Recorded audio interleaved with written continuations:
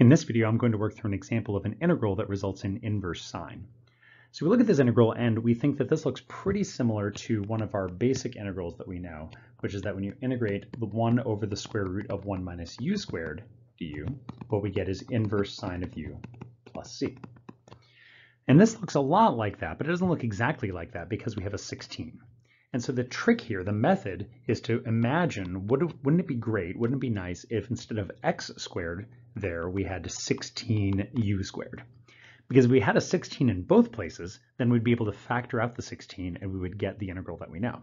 And so that's exactly what we're going to do. We're going to make sure that x squared works out to be the same as 16u squared.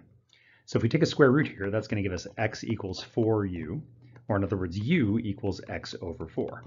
So this tells us the substitution that we need to do to get this to happen. We need u to be x over 4, which means du needs to be 1 fourth dx.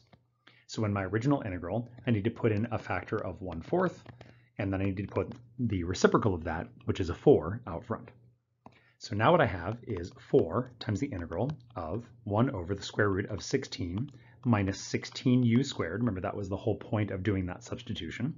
And then 1 fourth dx, that's du. So now just like we said, we're going to factor the 16 out of the bottom. So that gives us the square root of 16 multiplied by the square root of 1 minus u squared.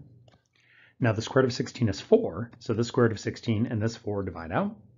And that gives us exactly what we were hoping for, which is 1 over the square root of 1 minus u squared du, which is the inverse sine of u plus c. And then the only step left is to go back to what the original u was equal to, which is x over 4. So that's our result.